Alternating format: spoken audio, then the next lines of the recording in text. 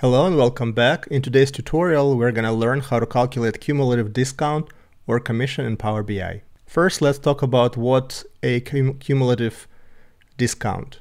So the uh, formula will work exactly the same for discount or a commission. So from now on, I'm just going to say discount. But if you're trying to calculate a sales commission, the formulas and everything else will be exactly the same. So what's a cumulative discount? Well, cumulative discount is a little bit different from the progressive discount. Progressive discount takes your amount, breaks it into a bunch of buckets, and applies a different percentage to each bucket, uh, similar to how the income tax works in the United States. The way the cumulative discount works is a little bit different. It's a little bit easier to, to deal with. Basically what it does is going to take a look at the overall amount spent in the discount window, in the window that we're trying to tax or calculate the discount for, uh, sums the whole, all of the amounts, uh, in our case invoice amounts, takes a sum of that, and then depending on where that falls in the scale is going to apply a, an appropriate discount percentage. Let me take a look at the specific example. So first let's talk about how we might set up that discount table so we can track. Number one is we need to specify the discount for what customer. So in this, in this case we have customer 1. Then we're going to specify the window for the discount. And that could be from September, in this case, to end of March. So you might have a window that spans a year. You might have a window that takes entire year from January 1 to December 31st. Or you might have a couple of discount windows per year. So that's what the next two columns do. They specify from, from and to date where the discount is active. Then you need to specify the brackets. Basically what you're saying here is within this window from 9.1 to 331, if my overall amount was $40,000, give the discount 0%. If my amount, cumulative amount is from 40,001 to $55,000, the discount is 10%, 15%, 20%. What's good about this table is that it allows you to set up a different discount for a schedule for different customers. So for example, here I have brackets 0 to 40, 40 to 55, 55 to 65, and over 65. The next one is completely different. So you can see for customer 2, let me scroll up a little bit. My window is 0 to 50, 50 to 75, 75 to 90, 90 and above. I just use a really, really large number at the end of the brackets. So what I've done is I've set up three customers with different uh, schedules, different cumulative amounts, and different percentages. So you could this is this setup is very flexible. It allows you to set up a particular customer in a very different way and have as many brackets as, as you want. And then it also allows you to do the following. If you want to have a catch-all, so for example, you're going to have a very specific schedule for customer 1, 2, and 3, then every other customers to go into other, then what we do in our case, we just say minus 1 for other, and then we set up a bracket for minus for all other customers. So in our case, the bracket is 0 to 25k, 25 to 50, 50 to 75, and then over 75. And the discounts is 0, 10, 15, and 20%. Now let's take a look at our model. As you can see, we have an invoice sales. And invoice sales is the table that captures what the invoices were by customer by date. And then we have our customer dimension, and we have our date dimension, and we have the discount table that captures effective from and effective to customer and the discount. And just so you guys have a flavor of what the data looks like for the invoice, uh, you could see this in this table. It's just the customer, date, invoice number, and the invoice amount. And I could click on different customers and see the invoices, invoice amounts for all of those customers. And before I get too far, this is a tutorial, which means that in the description of this video, I will post a link to my blog. And if you go to my blog, you can download this model. Then you can take a look at all the calculations, of the data, and practice on your own. The goal of this tutorial is the following. What we want to do is we want to go through all of the invoice that we have for every customer. And if an invoice falls within our discount window to and from, then what we want to do is we want to calculate the cumulative sales and then see how much of a discount I need to apply for this invoice. So you could see that we now have a invoice discount amount column added to our invoice table and then we can see how we're calculating that invoice amount and you could kind of quickly test this. The way you test this is you know that our window is from 9.1 to 331 And you could see that unless the dates are within that period, uh, we don't have any discount uh, amount calculated. So all, if we do have an amount, it always falls into um, a window between September 1 and March 31st. Now let's talk about the logic that we're are going to be implementing in this tutorial. So our logic is the following. We're going to go through all of the records and all of the invoices in our invoice table. For every record, we're going to see, we're going to take a look at the date. And then knowing the date and knowing the customer, we're going to look up in our discount table and see if there exists a range that corresponds to this date range, that date amount. And if it does exist, we're going to then calculate the cumulative amount for that range. Then knowing that amount, we're going to look up the discount percent. And then we're going to apply this discount percent to the invoice amount. So we're going to add one more column in the invoice table with the discount amount column. So now you see that I've added invoice discount date from and invoice discount date to. So basically these are the two variables that I've created, two measures that calculate that uh, upper and lower bound for our discount window. So you could see that if our dates are not within the window, which is again September 1 to March 31, then we see that these values are blank. And then as I scroll down, we see that the minute this date is 9-8, so it's within our window, we're going to specify the, the lower and upper bound. So 9-1-19 to 3-31-20. So let's take a look at the DAX for those calculations. So we're, we're going to start with the invoice discount date from. So basically what we're going to do is for every row in the invoice table, we know what the current invoice date is, and we also know who the current customer is. So now what we need to do is we're going to go into our discount table, and then in the discount table, see if we can find a corresponding discount window. And that's what this uh, return calculate statement does. So let's go through the DAX. As you can see, the way the DAX works is we're going to go to our discount table and we're going to apply a filter. So we're going to filter out all of the things that do not make sense for the current date customer combination. So the first thing that we're going to do is work with the date. So we're going to say, okay, take a look at our discount table and show me all of the rows that where from is before the selected date and to is after the selected date. So it's going to find all of the windows that satisfy our selected date criteria. Now the only thing we need to do is to make sure that it's going to look up the correct customer. And the way that will work is we're going to apply additional AND criteria where we're going to check for the current customer. So if we find a customer selected date combination, then we can then know that such a discount window exists for this customer. Now remember that we also have a catch-all other. That's how OR works. OR will do first the customer that we want to look up and it'll find whatever corresponds to that customer. If it cannot find this customer, then only then will it do the OR and it's going to do a fallback, it's going to do the other.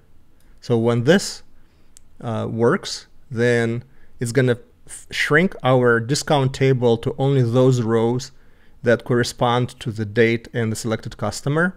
If the table is maintained correctly, that should only correspond to one row.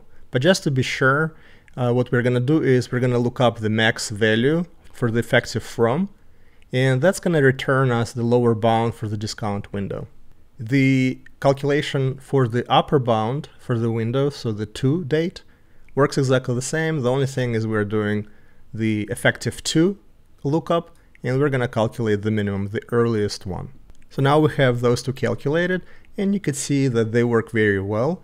Uh, as we take a look at the date, we can see that it calculates the window very well. So only the date ranges that fall within our, our September 1, March 31st bound, only those have the value for inventory discount date from and to. Now I had to do a couple of things just to make it a little bit easier to follow. So what I've done, instead of writing a very long uh, ginormal, ginormous multi-page calculation, I broke that calculation into individual measures and I added those measures into the invoice folders under the metrics. So those calculations are only meant to be used as we add a new column to our invoice table. You should not be using them for anything else. So uh, I could probably just hide them, technically speaking, so the end user should never even see those calculations. I'm not hiding them for this tutorial, just so it's easier for you guys to find them.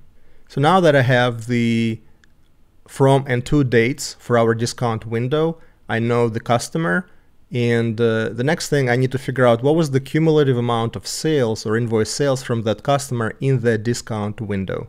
Let's calculate and figure out how that measure works. So let's take a look at this calc.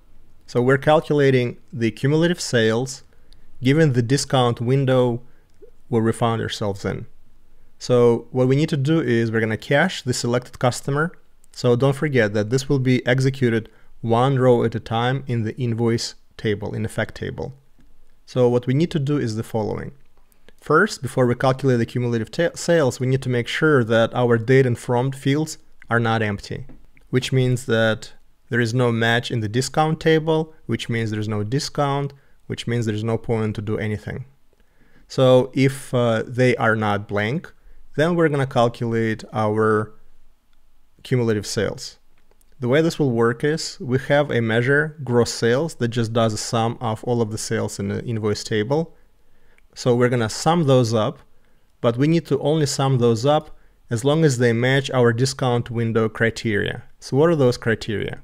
So let's see how we do this. So we're going to apply an all filter on invoice sales. So remove all of the filters and we're going to put our own filter on it. So the filter go like this. We're going to say that in our invoice sales table, look at all of the sales for the selected customer and also make sure that the date of those sales is before the discount date window, uh, greater or equal or to the from date and less than equal to the to date, which means it's going to sum all of the sales for the discount window in which that invoice falls into. So let's see if this calculation works. So again, the rows where we do not have any discounts, all of these measures return blank. As we scroll down, we see that this row here is for 9.8, which is within our window. We have our from and to dates. And now we've calculated what was the cumulative amount, and you see that it's the same amount for all invoices because we're trying to understand in what bucket we need to be using to look up our percentage for discount. So all of these invoices for the same customer, as long as they're falling into the same discount window, will have the same cumulative sales. And now that we have our from date, to date, cumulative date amount calculated, we can do the lookup and figure out what the exact percentage is for the discount. So the first thing what we're going to do is we're going to cache those values into the variables. So we have our date from, date to, cumulative sales, and then what customer it is. And these are the four columns that we need to do to look up the discount percentage. And now that we have the uh, variables cached, we could just do our return statement. Again, we're going to check to make sure that our dates are not empty. And if they are, we know that discount percentage will be nothing because there is no matching discount for that situation, that invoice. And now we're gonna go and look up our discount. So the first thing that we're gonna do, so we're gonna be looking at the discount uh, column in the discount table, so that returns a percent. And then we're just gonna apply all of those filters to find what the discount is. So we're gonna go to our discount table and say find the record where the it starts on the same from date, it ends on the same to date, it's looking up our customer if it can find it. And if it's not, it's going to try to look for the other. So that's where we have or. And also we're going to do this bucket for amount from and amount to. So if you remember, our discount is tiered. So depending on what your cumulative sales are, we're going to have a corresponding record for that. So it's going to check test for lower and upper bound, find that one record. In our case, again, I'm using max. You should only have one if you set up your table correctly, but just to make sure we put max so that we can return that one value. So now I have added the discount percent calculation to our table just to test it again. So you can see that for customer A, all of these invoices within our range get a 15% discount. If I click on customer B, customer B also gets 15%.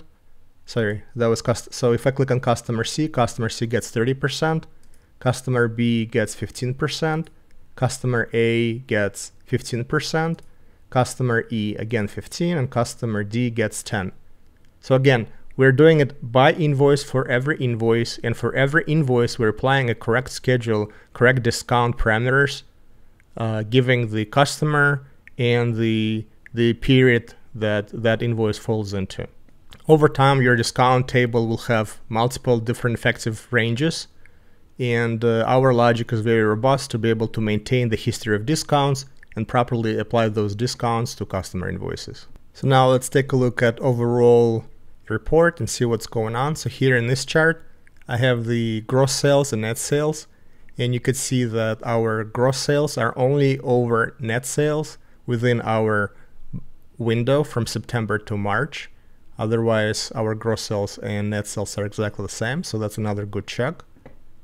In this chart, I'm just trending all of our discount and the effective discount. An effective discount, I'm just looking at the net sales versus gross sales and do the calculation there. So you could see it changes from anywhere from 25 to 15%. However, within that window, each customer will only have one percentage, discount percentage. So if I click on a customer, you see that these are all of the discounts applied, discount amount, totally, total discount, sum of all of the discounts.